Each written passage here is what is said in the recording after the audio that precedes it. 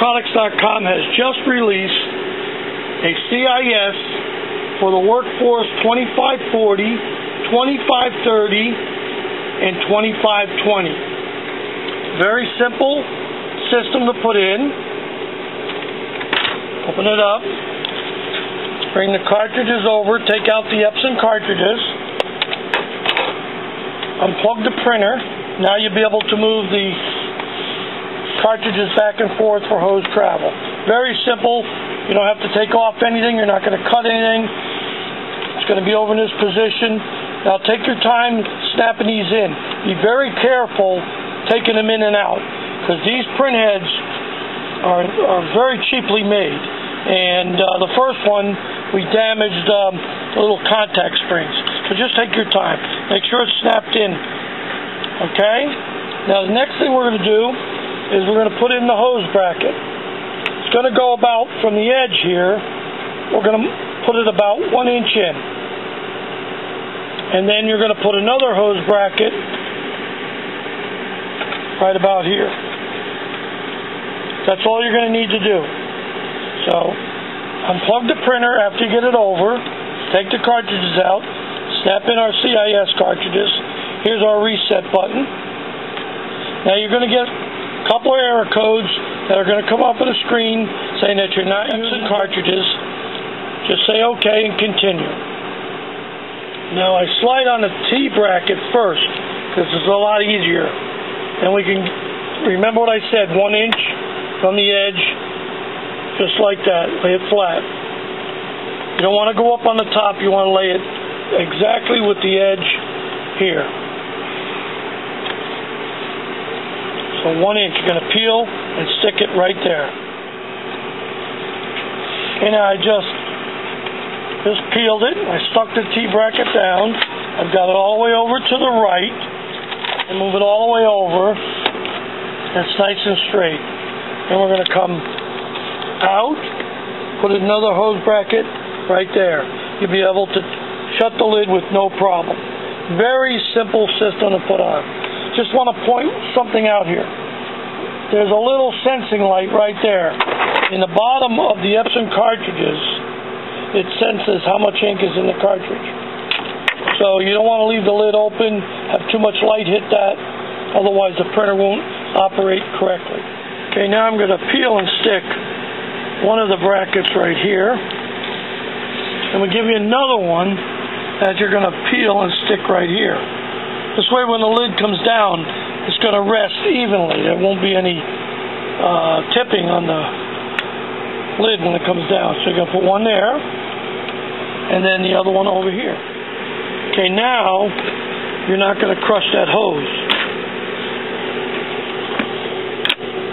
You can still use the doc feeder.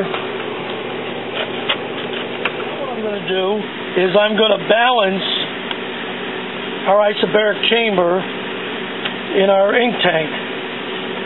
So before we open up the plugs in the top, we're going to rock it. It's going to take all the ink out of the isobaric chamber. Go slow. You must do this. Okay, now you can open up the top and you can remove small air plugs in the back. Front ones are for filling, Back one, you need open to let the air into the isobaric chamber. Now, you don't want to get ink on your hands, take a little paper towel and grab the plug and pull it up. A lot of times if that plug is hard to put back in, just take a little dish soap, very little. Put it on the edge and that'll cause that plug to go in so you don't have to fight with it. Take it out, just leave them out. Now when we close this, it's going to protect it from dust and light. There's a lot of companies that copy us, but they really can't duplicate us. So there, that's how it's going to be. There's our new backflow dampers. They also incorporate an anti-backflow. A lot of the backflow dampers don't have that. We've been building these for many years. So we build these the day you order it. We buy the parts and pieces, we fill it, and we put it together. Parts and pieces come from all over the world, but we build it right here in Florida. Okay, now we're going to plug it in and turn it on. Put it all the way over to the right.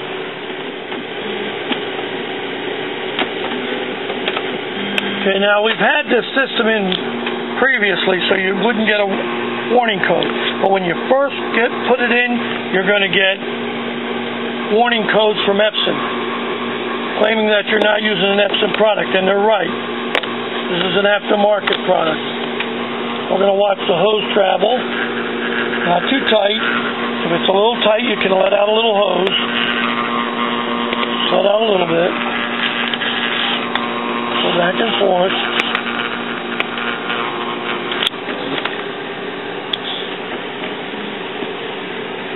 Okay. Now I'm going to do a nozzle check. So I'm going to go to menu.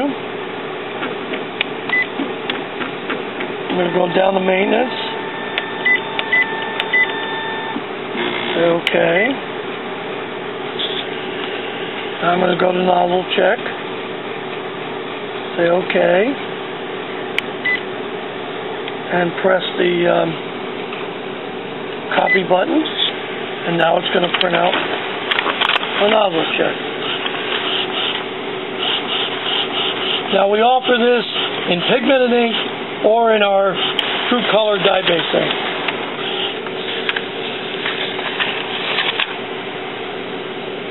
And now we'll take a look at it.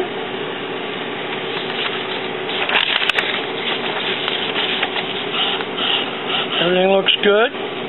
Tells you how many color pages, blank pages, sleep timer. So apparently this is set to go to sleep in 10 minutes. You can change that. That's it.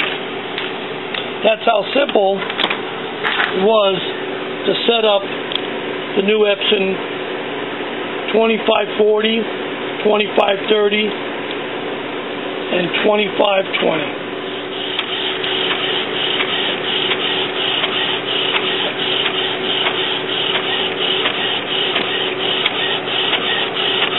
So now we're printing our test pattern.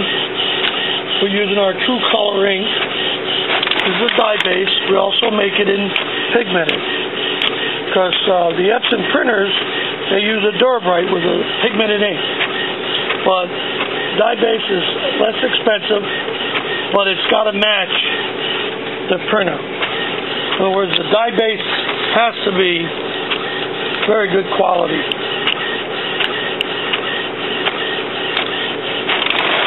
That's how simple it was to set this up. Now, because these printers are very inexpensive, I don't expect them to last more than two years.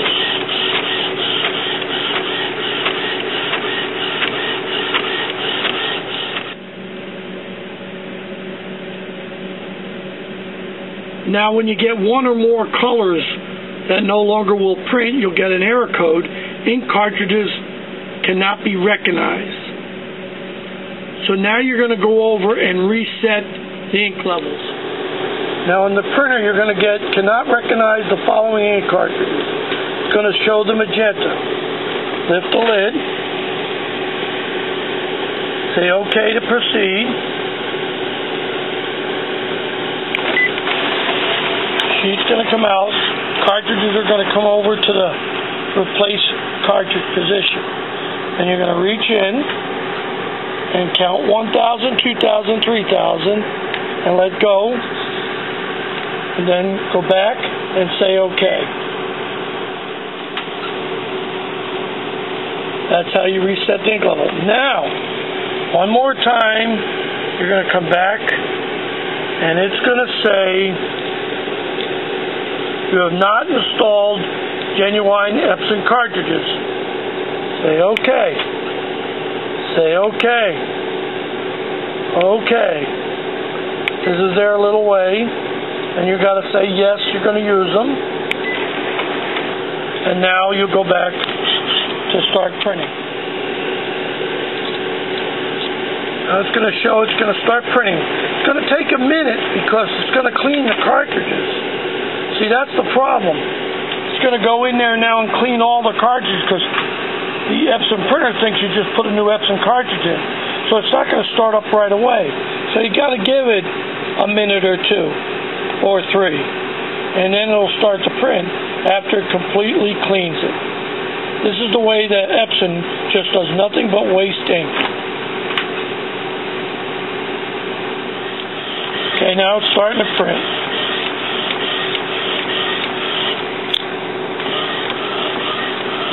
I'm going to cancel it. Now I'm going to the menu. I'm going to go to ink levels.